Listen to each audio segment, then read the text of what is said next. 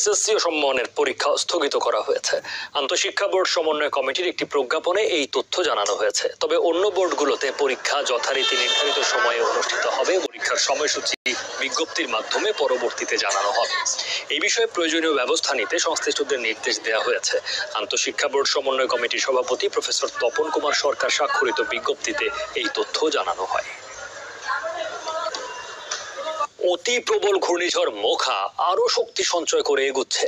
দুর্যোগে বড় ধরনের ক্ষয়ক্ষতি এড়াতে কক্সবাজার, চট্টগ্রাম ও পায়রা সমুদ্র বন্দরকে আট নম্বর মহা বিপদ সংকেত দেখাতে বলা হয়েছে।